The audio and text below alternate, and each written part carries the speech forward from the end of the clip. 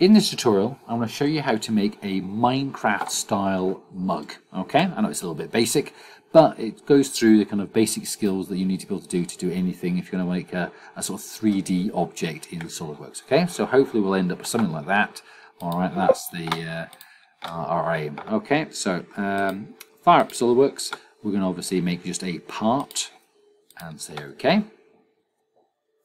Uh, once this comes up, I'm going to go to Sketch in the corner. All the kind of action that always happens up in this top left-hand corner. So go Sketch and Sketch again. And I'm going to draw this from the top plane. So this will be looking down. So just select that corner there and say top plane. I'm going to grab a corner rectangle.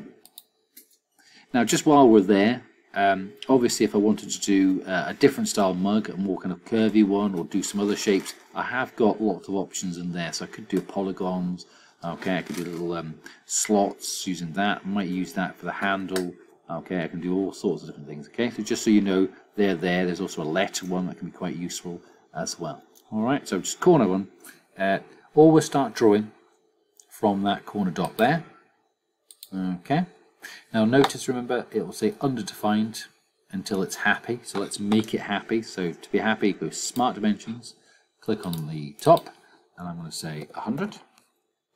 Okay. Now, when I went into this, uh, it's worth just checking. It first thing it asked me was what unit do I want to. So make sure down here yours says MMGS. If it doesn't, just select that. Okay, select the other unit. When you do, it will kick you out of the sketch. You'll need to go back in and then just redo your things. Okay.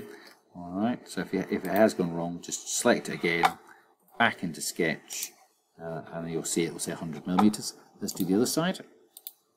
And obviously, because it's a, a, regular shape, I only need to do the top and the side. And there we go. Okay, so look down here, it's happy, it says fully defined. Now, I want to make it 3D. This is going to be my block to start with. So, top left, exit. Select Sketch 1, that's what I'm talking about here. Go to Features, again, all in this top left corner. Extruded boss base, and I'm going to just move that up to 100. Okay, I can just scroll that out a little bit so you can see the whole thing and say OK. So there we go, I've made my, my, my block. Okay. Next thing I want to do is I want to be able to show you how I can cut bits of this out. So I'm going to cut out the inside. So to do that, back to Sketch, click on Sketch, select the plane. So I've said I want to draw on this surface here, and I can just start drawing. So I'm just going to draw um, another corner rectangle. Obviously, if I look down here, it's now saying underdefined because it's not happy. So I'm just going to put the dimensions on. Uh, and I'm going to dimension just from the sides. So I'm going to say from that side to that side, and I'm going to say it's 5 mil. And that one to there will be 5 mil. Now, just a word of warning, when you are doing this for real, I would recommend use the side of the walls as 1.2 millimeters, okay? That's, that's thin enough that it'll be nice and quick for us to print them all, um, but also it's sort of thick enough that it will be strong enough that you can't really break it without of seriously trying to break it. Okay, so when you do your real ones, go for 1.2 mil. Okay, we're going very chunky, so 5 mil all the way around, and as you can see, fully defined. I don't need to say what the lengths are because it can work that out. They must be all be 90. Now, how do I scoop that out? Okay, back to exit sketch, and with that highlighted, sketch 2, I go to features, and just along the way from here, I've all sorts of little odd sort of things. Do feel free to have a bit of a play with all these things. Okay, if you if you look at something and go, "Wow, I want to draw something and mirror it," feel free to go onto YouTube, type in SolidWorks mirror. What does it do? Or just Google it. Okay, so do. All right, there's all sorts of cool things in here. Have a go. All right.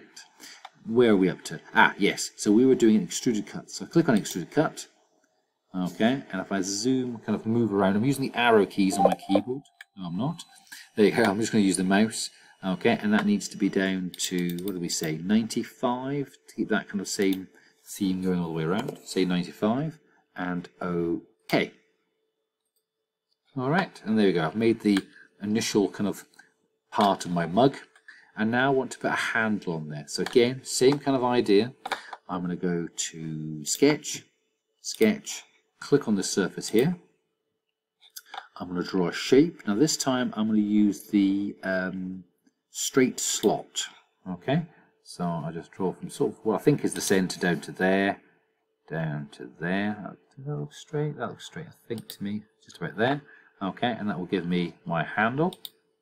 Okay, now obviously it's not happy again, so I need to go back to Smart Dimensions, give it a, a length, and I want to say that I want that to be 50. And I want the distance from this dot here to the corner to be 25. Okay, I need to see how wide it is. There to there. And I'm going to say, 50, uh, let's go 20. Ooh, 20. Okay, and anything else? Alright, now I'm just having a look here. It's saying underdefined. I think it's because it's probably something to do with this angle here. Because we said how wide it is and how long that is there. Um, I'm just going to try and mention what happens if I do this. Oh, no, it's happy with that. Remember, if you get that yellow line come up, um, go from there to there. No, if it ever comes up with this bit, just say cancel because it means you're trying to put too much on there. Okay. Um, oh, I know what I've done. I've not put the, the side to side, so I'm just going from the center dot to there. Okay, and say 50, so it's bang in the middle. There we go. All right, so that's happy now. So it knows how far that is, how far that bit is, how wide it is, and how far it is across the wing. Okay, back to fully defined. That's what we're aiming for. If you can't, and you really tried hard, and it won't just won't let you fully define it. Don't worry about it. It will still let you go on. Okay, it's just nice if it does. Okay, so I'm going to exit that sketch, and this time I'm going to extrude this out again. So I'm just going to move my thing around a little bit so it's 3D, so you can see that when I bring it out. So it's selected sketch 3, features extrude boss base, and I'm going to bring that to I think 50 would be nice. Uh, let's try 35 maybe? What does that look like? Yeah, I think that'd be okay. So I say OK. All right. And now what I need to do is I need to sort of put a hole through here so I can put my kind of my, my thumb and my finger through to so it doesn't spill my drink. And again, exactly the same idea. Sketch, sketch, select the surface, draw your shape, Make sure it's dimensioned.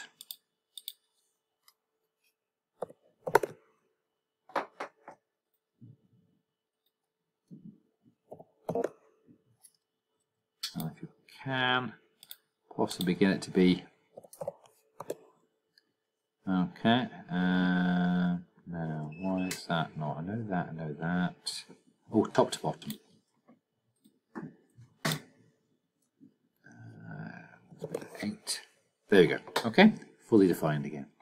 So I can now go exit sketch and do my final extruded cut features, extruded cut, and I'm just going to flip that around just to make sure that it goes through. Now obviously if it goes all the way through and a bit extra, it doesn't matter. I can just say OK.